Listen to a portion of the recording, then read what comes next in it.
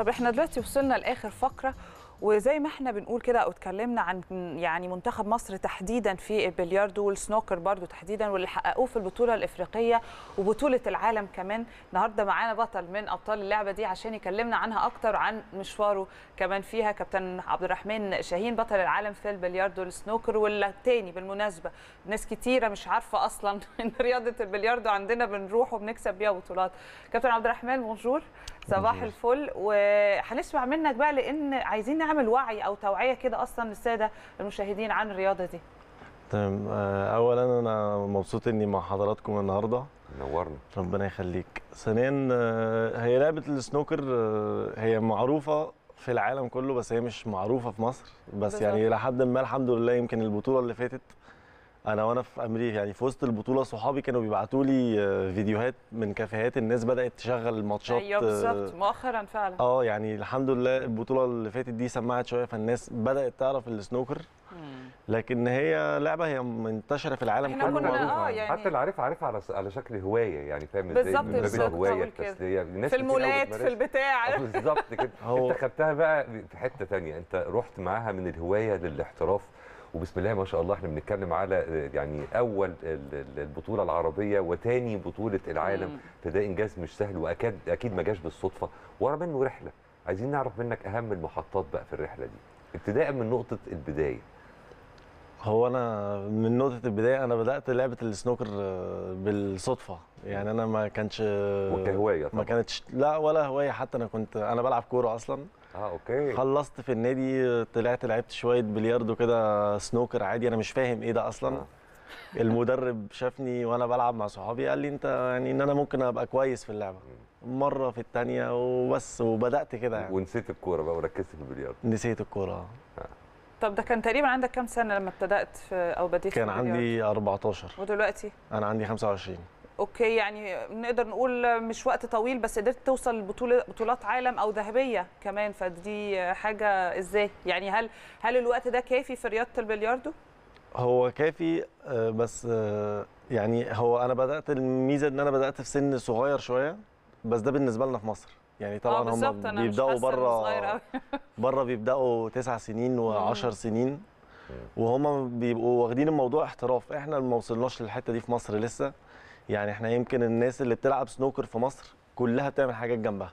يا بيشتغل في بنك جنب ال- السنوكر يا بيشتغل في شركة يا بيدرس. إحنا ما عندناش حتة إن أنت تبقى لعيب محترف في معسكرات السنوكر. بقى والنوع ده من الأمور ما بيبقاش فيه معسكرات أو سفريات إعداد. لا في طبعا بس آه، يعني مش زي بره طبعا. يعني إحنا مش طب إحنا ناقصنا إيه عشان نبقى زي بره؟ في الرياضة دي تحديدا يعني. لا ناقصنا كتير. زي إيه؟ ناقصنا الدعم في كل حاجة. يعني مثلا أنا بلعب في نادي الصيد. أنا النادي بتاعي مثلا موفر لي كل حاجات اللي ممكن لعيب في النادي يحتاجها. لكن مش أنا عشان أبقى أنافس. بره وأعمل اللي أنا بعمله يعني طبعا في ناس كتير ليها الفضل في الكلام ده بس هو في الأول وفي الآخر اجتهادات شخصية. مم. يعني أنا ضحيت بحاجات كتير في حياتي واتأخرت في حاجات كتير في حياتي بسبب السنوكر. زي إيه؟ زي الدراسة؟ مثلا. الدراسة مثلا يعني أنا لسه عندي عندي 25 سنة أنا لسه بدرس. أنا دي حاجة مش مضايقاني. أنا مش هي مش حاجة مش مأثره معايا في حياتي. بس يعني مثلا دي بالنسبة بالنسبة لأهلي كانت عاملة لي مشاكل مثلا في الأول. أكيد طبعا.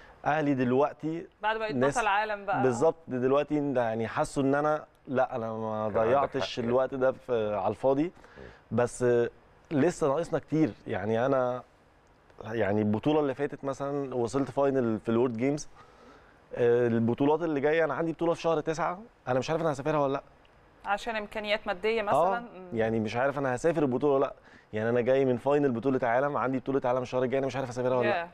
الشهر الجاي. تواصل مع الاتحاد مثلا ما هي نفس الحاجات اللي بنسمعها يعني الوزارة لو دعمت هنسفر لو الوزارة ما دعمتش مش هنسفر يعني آه. هي تقريبا بتكلف قد إيه يعني السفرية اللي جاية شهر تسعة دي ولا حاجة هي تتكلف تذكرة طيارة وأوتيل يعني السفرية كلها على بعض لأربع لعيبة مثلا مش تتكلف 70 80 ألف جنيه يعني. آه ولو لو الاتحاد أو الوزارة ما دعمتش أنت هتروح على نفقتك الخاصة بس مش كل الناس برضو تقدر تروح على أنا كنت لسه هقول. لحضرتك طبعا. يعني أنا مثلا يمكن أقدر في غيري ما. يقدرش نخسر إحنا بقى ميدالية ونخسر بطل عشان ما قدرش لا يروح. تخسري المشاركه أصلا في ناس بمشاركتها بمجهودها بيروح إنها ما. بتعرفش تشارك في البطولة يعني في ناس ضيعت وقتها وعمرها في اللعبة دي ومش مقتدر يعني ما مش قادر يسافر على حسابه. في في في رياضات معينة إحنا بنسميها الرياضات المظلومة لما نيجي نقارنها بكرة القدم كرة القدم واخدة العين واخدة ال attention واخدة الدعم واخدة ال sponsorship واخدة مظبوط. كل حاجة.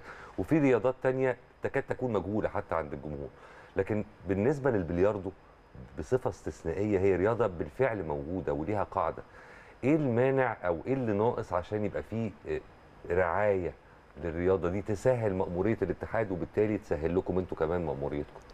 أنا بالنسبة لي أنا شايف إن اللي ناقص إن الناس أصلا يعني الاتحاد أنا أنا أنا على فكرة أنا مش بهاجم الاتحاد يعني أنا رئيس الاتحاد آه، أنا بعامله راجل يعني زي أبويا بالظبط. لكن هو فكرة إن هم أصلا شغل الاتحاد إن هو يبدأ ينشر اللعبة ويعرف الناس إيه اللعبة دي. هي الناس فاهمة البلياردو البول بس اللي هو البلياردو العادي البول. ده اللي منتشر منتشر في الكافيهات منتشر في الأحياء الشعبيه ممكن أقول لك حاجة، ده آه خبر يعني- حلو ليك نهاوند ده خبر لسه الإعداد بناء عن كلام زميلتنا ريهام. هي دلوقتي بتبلغني وإحنا أثناء ما بنتكلم إن هم تواصلوا مع الوزارة دلوقتي وإحنا بنعرض الموضوع. نتابع بقى إيه اللي هيحصل ودكتور محمد فوزي المتحدث باسم وزارة الشباب والرياضة بيقول إن هو هيتواصل مع الاتحاد عشان يحلوا الأزمة دي ده خبر لسه حالا لسه متبلغين بيه من الإعداد فده كلام على على عوده بريم؟ طبعا ريهام ونتمنى إن شاء الله لله. آه يعني المتابعة فيه تكون وأنت تقول لنا إيه اللي هيحصل بإذن الله بس طبعا لو كده يبقى مشكورة جدا وزارة الشباب والرياضة طبعاً، في سرعة طبعاً. الاستجابة يعني طبعا طبعاً. مليون في ده شيء يحترم. نتمنى إن أبطالنا يقدروا يسافروا في بطولة العالم اللي شهر تسعة هنشوف بإذن الله إيه اللي هيحصل إن شاء الله كويس. أهو وشنا حلو عليك بقى ولا لا، إيه؟ وعلى الهوا يا أستاذ لا كله على إن شاء الله خير. بالإثبات صوت وصورة. أنت بتحلم بإيه عموما في الرياضة دي؟ لنفسك وللرياضة نفسها في مصر. لنفسي بحلم طبعا إني أبقى أفضل من أبطال العالم وأبقى في مستوى ثابت وإني آخد حقي في اللعبة. يعني إن أنا ما ما أحسش إن أنا عملت حاجة لمدة 10 سنين من مش من وقت كتير من 25 سنة وما يروحوا على الفاضي. يعني احس إن أنا ما ينفعش يتسلى ليك الإحساس ده أصلا. إحنا بنتكلم على تاني العالم. أنت مش كده برضو ولا إيه؟ طبعا. صح. أول العرب وتاني العالم. فأنت من حيث الإنجاز لا ده في إنجاز وإنجاز كبير ومهم كمان. لازم يتبني عليه كمان الفترة الجاية إن شاء الله. حضرتك أنا ممكن أقول لحضرتك أنا في ناس قرايبي ما يعرفوش أصلا عمرهم ما دخلوا صالة سنوكر في حياتهم. بعد البطولة أنا داخل النادي عندنا طالع لقيت لقيتهم بيلعبوا. لقيتهم قرايبي بيتمرنوا مع مدرب اللي عندنا في النادي. والله ما أعرف شفتهم بالصدفة. يعني. فبكلم مامته يعني بقول لها إيه ده؟ قالت لي أول ما شافك في البطولة قال أنا هلعب سنوكر زي بوكا. حلو ده. يعني أنا أنا دلع اسمه بوكا. فبيقول لقيتها بتقول لي أنا هلعب سنوكر زي بوكا. Okay. فيعني شوف ال... ملهم أهو كمان. حاجة حلوة دي حاجة حلوة. وفي النادي عندنا إحنا عندنا في النادي إن لعيبة جامدة عندنا في مصر لعيبة جامدة إحنا في مصر. عندنا لعيبة جامدة بالنسبة للعالم. عندنا لعيبة جامدة كتير. بس ما فيش حد بيعرف يعمل الكلام ده. مم. أنا يمكن في ال final أنا ما خسرتش عشان خاطر اللعيب اللي بيلعبني أجمل مني. قد ما هو الموضوع بالنسبة لي أنا ما اتحطيتش في المو- الموضوع ده قبل كده. أنا مسافر أنا وواحد صاحبي. يعني واحد صاحبي اسمه سامح سيدهم بيلعب فرنساوي لعبه آه. بلياردو تانية كنت فرنساوي. بلعبها وأنا صغيرة دي. وأنا في السنوكر إحنا مع نفسنا. أنا اللعيب اللي بلعبه من هونج كونج في ال final. معاه بعثة كاملة. معاه مدير فني ومعاه دكتور نفسي رياضي ومعاه. ناس يعني وأنا بالنسبة لي أصلا فكرة إني بلعب final بطولة عالم لأول مرة في حياتي الموضوع مش مش سهل. يعني ده. غير pressure الماتش نفسه. أنا عليا pressure أنا أنا فين دلوقتي؟ أنا بعمل إيه؟ كانت في أمريكا. في أمريكا. فالموضوع يعني أنا لو جاهز نفسيا للموضوع ده لا كان هيفرق معايا جامد. أنا بدأت أفوق في نص الماتش. Okay. وأنا already خسران. فهو الموضوع مش برضه اللي حصل لغاية دلوقتي إنجاز عظيم طبعاً، الحمد عليه. لله، دي الحمد أول لله. مشاركة ليك عالمية وتطلع فيها الثاني على مستوى العالم الحمد أمال لو لله. اتوجدت في البطولات العالمية هيحصل إيه؟ ما هو ده اللي أنا بحاول أوصله والله إن إحنا مش بعيد عن الناس دي إحنا بس ناقصنا اهتمام ور- ورعاية ودعم إحنا ربما نبقى أفضل كمان لو تلقينا ال- الدعم والاهتمام ال- المطلوب. لأن أنت باقل. الإمكانيات وأنت بتنافس أما لو أنا عندي كمان الدعم المطلوب هروح فين فيعني. حضرتك إحنا كان عندنا معسكر كان في من سنتين كده كان مدرب اسمه بي جي نولان في مصر هنا ده من أجمد المدربين في العالم الراجل نفسه قال لنا أنا عمري ما شفت كمية المواهب دي موجودة في بلد واحدة على مصر. بس ما فيش يعني المواهب هتعمل إيه؟ يعني أنت موهوب وبعدين؟ طب أنت البطولة اللي فاتت دي سافرتها برضو على حسابك الشخصي؟ لا. كان على إيه بقى؟ حساب الاتحاد. الاتحاد الإقامة هناك كانت على حساب البطوله طب رائع يعني بيحصل أوقات آه. لما بيكون في لا مش أوقات علشان برضو أدي إدينا للاتحاد فكرة حقه. يعني. هو الاتحاد أغلب البطولات بيسفرها لنا. بس هي فكرة مش في السفر بس.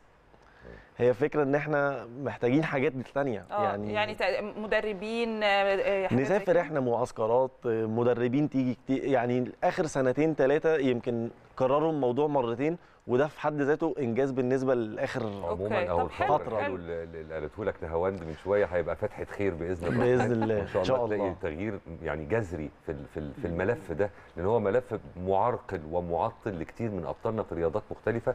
أعتقد الإنجاز اللي أنت شخصيا لوحدك حققته ده كافي بإنه يفتح المجال لإعادة النظر فيما يتعلق بمسألة الدعم. والرعاية. إن شاء إنت الله ان شاء نورتنا الله وشرفتنا. ربنا يخلي حضرتك. وشرفتنا قوي. يعني ربنا شرفتنا يخلي بس. حضرتك. يعني ربنا حاجة يخلي جميله حضرتك. جدا. ربنا يبارك لك إن شاء الله. وبإذن. الرحمن المزيد من النجاحات. شاء الله بإذن الله إن شاء. الله. ربنا يخليك. كل التوفيق. وإن شاء الله تسافر السفرية اللي جاية. ومش على حسابك. نتمنى ده يحصل. وتقعد لنا ب يعني بالذهبية برضو مرة تانية بإذن الله. يا. رب. بإذن الله. نروح فاصل بس. طويل يعني. لغاية بكرة. آه لغاية بكرة كده ونرجع لكم إن شاء الله. بكرة حلقة جديدة 10 الصبح في الأهلي.